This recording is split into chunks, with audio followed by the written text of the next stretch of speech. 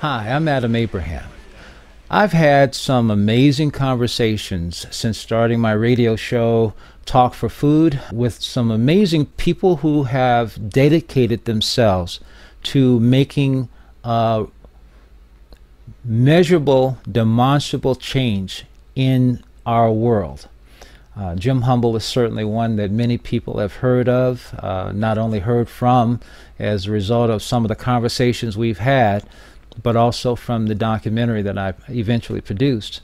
But there have been others. There are a number, many, many amazing people who have singularly, without any fanfare, been doing what they can, uh, using their knowledge, using their intelligence, using their courage to do something to help make a change in this world, to help us wake up from and heal from our collective stupor. Okay? Paul Pantone is one such person who I knew nothing about up to uh, the 2011 Tesla Tech Conference. I'd never heard of him before, even though somewhere I had heard of GEET before. I think I had seen it somewhere. I didn't know what it was, and in fact, even after reading some of, about it, I wasn't sure what is this. You know, global environmental energy technology. What is that? Well, uh, when I met him at the Tesla Tech conference, we sat down and he told me a bit about what GEET is. Every week I try to bring a class, or every couple of weeks I bring a class in, and I teach them everything I can. Not just about GEET. I have over 650 other inventions. I teach things that uh, go way beyond your curriculum you'll find anywhere in the world. As you can imagine, my mind was actually already racing as he started with this. What happens is the exhaust is leaving the engine. Here he's describing the GEET fuel processor. As it's leaving the engine, we have a fuel pipe going in through the center of the exhaust in the opposite direction. Now, you have heat leaving, which always spins in a natural spin, clockwise towards the exhaust. We have the new vapor, which is ice cold, coming into that hot exhaust. The temperature gradient going. Tremendous temperature differential there, with both of them are spinning in opposite directions, creating an electromagnetic field, while the heat is trying to be pulled into the coolness of the new vapor being pulled in. We have an expansion. And during the period of three and a half inches, inches, you can have as much as 100 to 150 increases where the vapor is actually doubled and redoubled and redoubled and redoubled. So you start out with one cubic inch of air moving into it, and you have two or three hundred cubic inches coming out of it.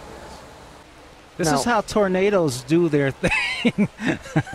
I'm the only person I know right now on the planet that can actually create a tornado right here on this table that you could film and study and play with and actually stop a tornado. uh huh. Yeah. Yeah. That is in my training manual, Okay. which um, which is one of the reasons I'm trying to get all the scientists to work for me here. Do you get the impression that schools of higher learning are not exactly breaking down his door to learn, to learn about this, to adopt and to propagate this information?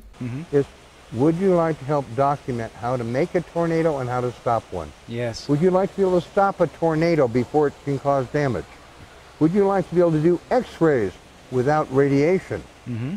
Would you like to do an MRI for under a $100? My answer to this question was yes. Let's get started. We're doing things that are very revolutionary. Mm-hmm. All of it using GEET technology. Okay. Wow. All All right. of it is basic natural phenomenon.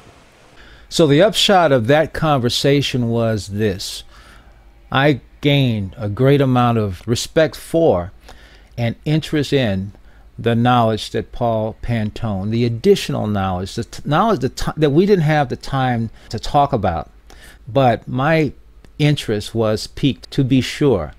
And I'm happy to say that Paul extended an invitation for me to come and visit him in Oklahoma and to talk more. The result of that visit is a recording of those conversations, which will be available on four DVDs under a single title of Indelible Promise. It is simply Paul Pantone with a little of me here and there. And really, it's all you need. Let's talk about how the GEET fuel processor actually works and what it does and what and the principle behind it. Well, it's an acceleration chamber. Dr. William Su made the comparison uh, back in about 1996, 97. Uh, he worked 20 years of his life on a seven mile circle underground in Beijing.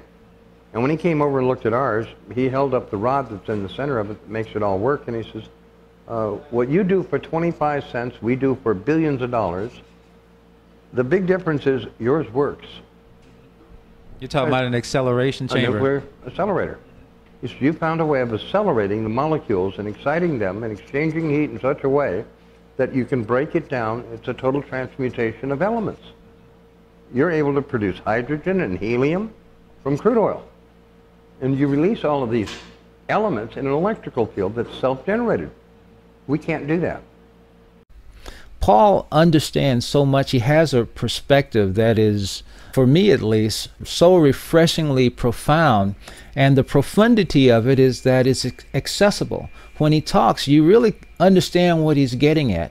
You even get the implications of it, you get the nuances. Now, when we started pointing the rod up, it was because repeatedly throughout the Bible, I recognize, since many of the things we've dealt with are found in the book of Ezekiel and other Bibles, uh, we started checking into what it said real closely.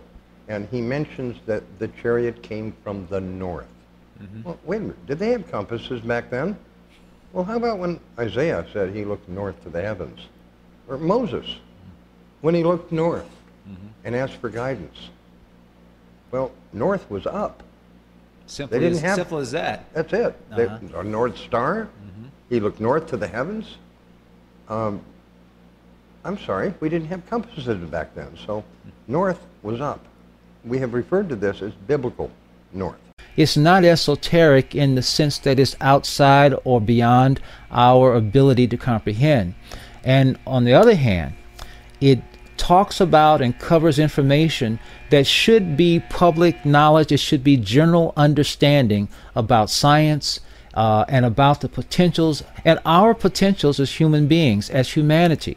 The number of applications for using plasma energy is unlimited. It could replace our need for fuel in every piece of equipment we now have on the planet. It could take products that we now consider waste, vaporize it, to then use that as a new fuel. Uh, how much energy is there in a, a can?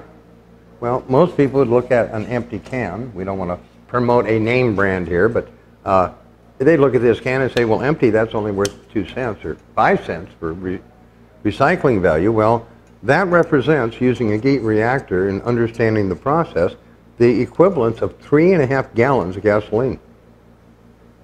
So, what is that can worth to me? A lot more than it is to you. And so I'm here to tell you of indelible promise. And the reason it's called that is because there is a, a relationship, there is a potential, you could say a promise, that cannot be erased. And it is between nature and humanity. It is between kindreds, and it is about technology and the use of technology that acknowledges and honors that relationship. That to me is what Geet does. It honors the relationship between humanity and nature, and some amazing things are possible. Many of the things that we have been able to accomplish, according to science, was not possible. But once you start bringing the scientists in and showing them, that's when they back up and go, okay, our books are wrong. But continue. What's next? Come on, teach us. Uh, that's what I'm all about. I love teaching. It's a simple conversation and a sharing, a sharing of information that should be fully and well and widely known. But in that time, in that series of videos, there's information that we can do something with collectively as well as individually. So I invite you to get your copy of Indelible Promise and begin to rekindle that relationship with our ability to transform our world because we certainly need to do so. That is, that's, I think we can all agree, we need to make a change. Ultimately, the change needs to be intelligent. If we are doing it by destruction, which is our, has been our way, it just gets us more of what we become familiar with. So, indelible promise, Paul Pantone, order yours today.